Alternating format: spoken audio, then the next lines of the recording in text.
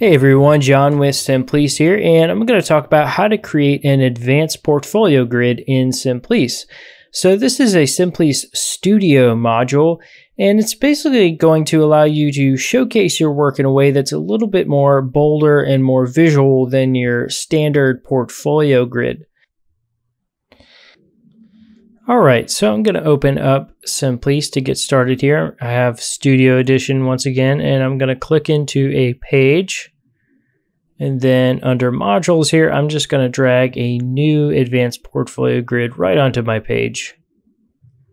And it's letting me know that the grid is empty because I haven't added any pages or projects yet. And Let's go ahead and just add some here. And if you don't see these in your list, just make sure that your page or project is published and not set to draft. So I've added those all in. Let's just uh, check out some of these different uh, grid presets we have here. We have the default, which is the horizontal full screen. I also have the text grid and then the split screen. So let's go with the default for now. If I save this and open up the preview here, you can already see just with the default settings, I have this really nice grid that I can then cycle through to see the different projects. I'm going to go back to the editor and let's just customize this a little bit more. If I pull up the options again, the first option you'll see is I can change the amount of images per slide here. So just some different effects there. Um, I can also enable page transition. So that's going to give me a page transition that's for this grid. Um, and then you also have the option to change the image size. Um, if I change it to original, it's just going to show the original image size rather than fill the screen like in cover mode. And you'll see I can now change these alternating background colors if it's set to original. Okay, I'll just set this back to cover for now.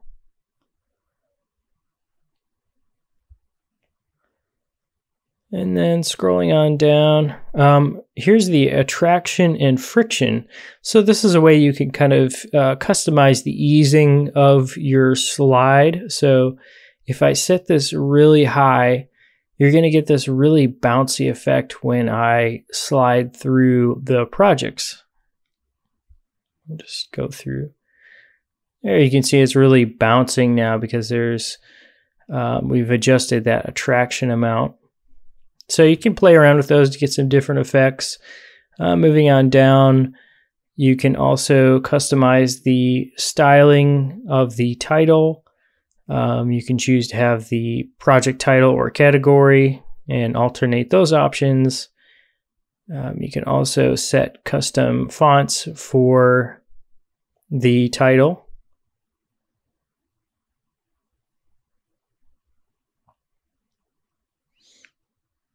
That's looking good. I'll set a, um, a line height here. You can adjust that as well, so it's handy. Um, I can also set a font here for the project category.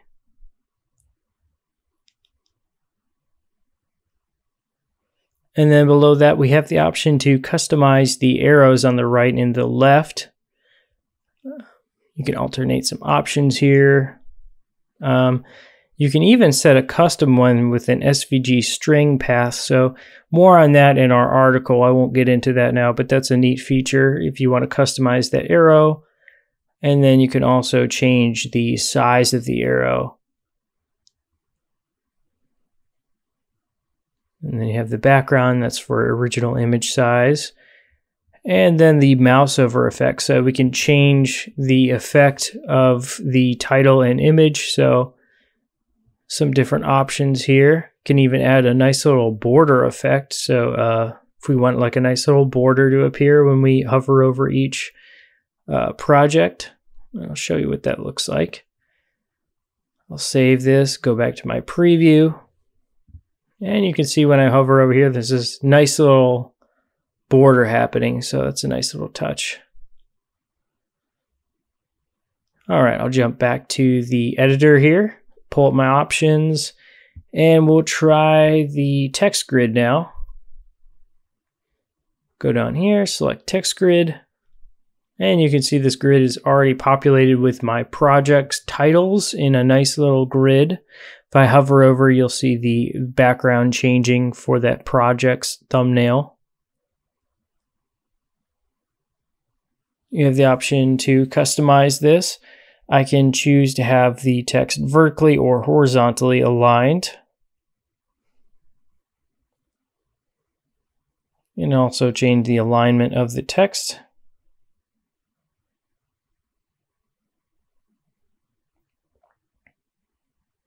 Play around with some different sizing options here. There's really a lot you can do. Um, we'll also change the typeface here. Size that down.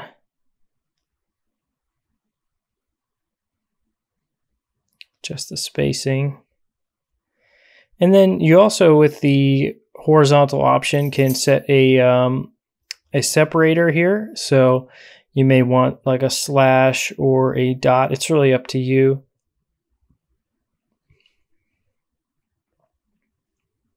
Do a dot. Can then set a color for this. And then I'll make the font match the font that I'm using for the titles. That's looking good. And then lastly, we have some mouse over options. So if I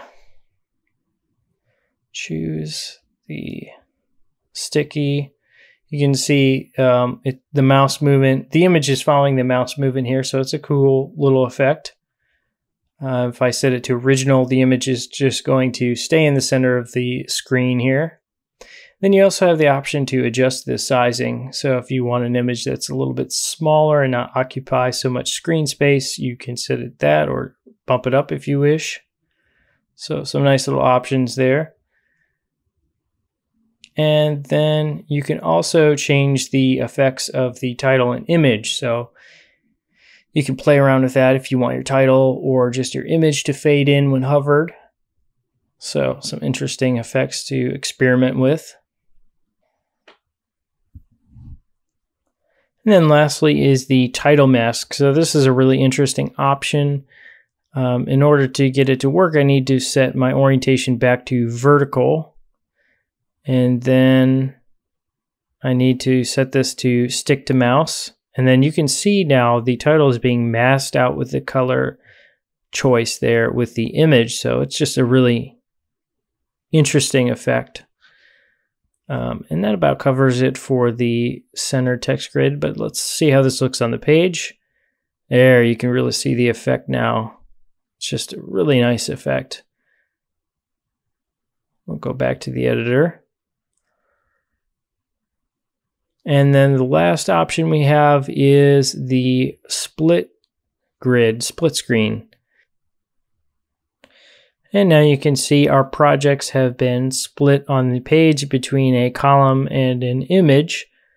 If I scroll through, there's this nice little fade effect going on here. We have our project title.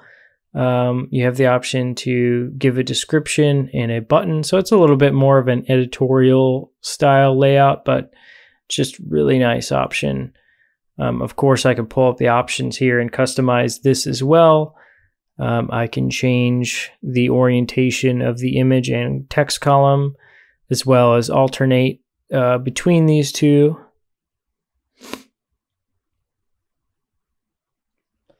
You can also set the image to original or cover.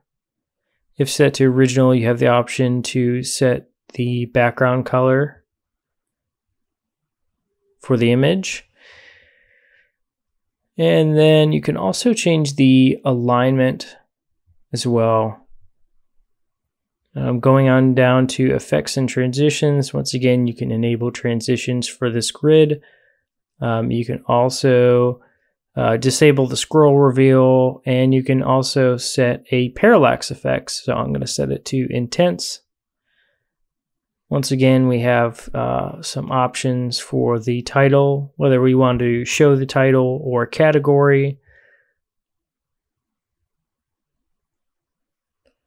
From there, I can also format the project title. Bump up that text size. And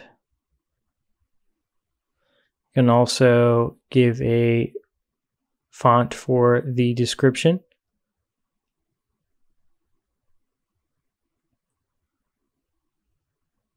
As well as styling the button.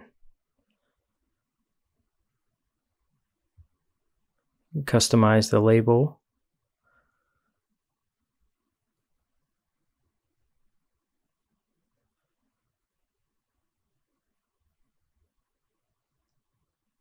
Give this a custom background color here. Let's make it, give it a little nice little border effect there.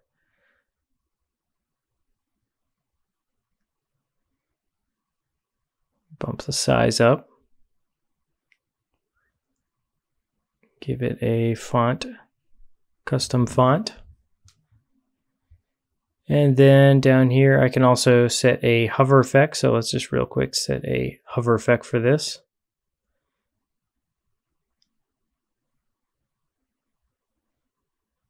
All right, so now there it is. Okay, so now if I save this, let's see how this looks on the page. Scrolling down, there's that nice little parallax effect. It's looking really nice. And there is my custom split screen portfolio grid. Um, one last thing I want to make sure I mention too is you can also adjust the sizing of the columns here. So um, if you notice up top, I have the column set to uh, 40%, but I can also adjust this amount and just increase this or decrease it. Um, let's set it to about 60. Scan all preview. And there you can see the different width there. All right, well, that about covers it for the advanced portfolio grid. Feel free to experiment with all of these. You can get some really interesting effects. So we're excited to see what you create and keep on rocking with Semplice.